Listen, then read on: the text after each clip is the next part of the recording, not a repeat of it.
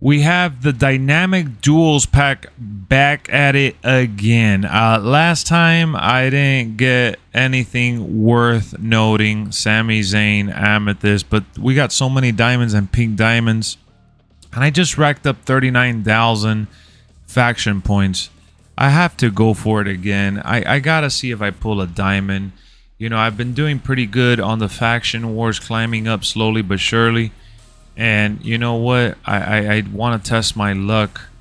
I know that you guys are not too happy about my faction. You guys are not too thrilled about these one pack videos and segments and all that. But I've been slowly making my way through my faction wars. I just picked up Otis. I just picked up Mia, Mia Yim.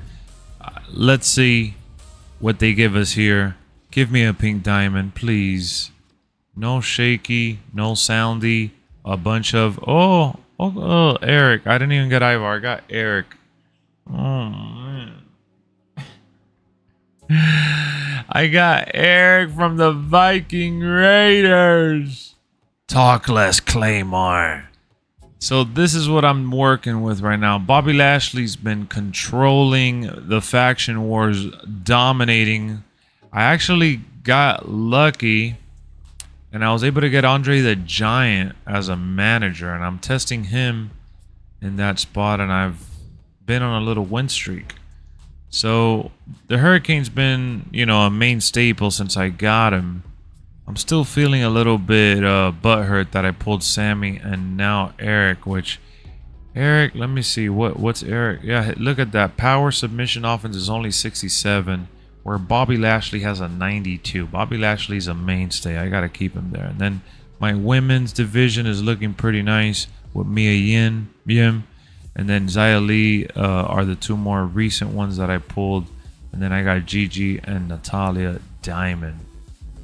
So just a little quick update here.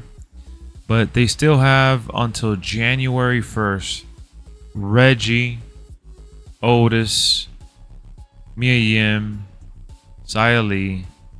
That's it. I still got to get Reggie, actually. And I don't know why they made Reggie Diamond. I don't really want him. But for the collection, right? For the collection, we still got to make our way all the way to the top. Look at this. Oh my goodness. We're only at 69 right now. 300 wins. And I'm not even really doing it for the rewards. I'm doing it just because I feel like this is how you beat the mode, to get the 300 wins.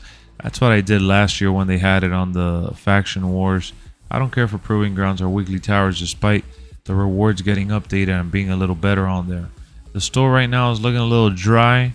I'm making my way through the Amethyst still. I gotta collect 18 Amethyst cards before I get to the Diamond Division, which I can't wait.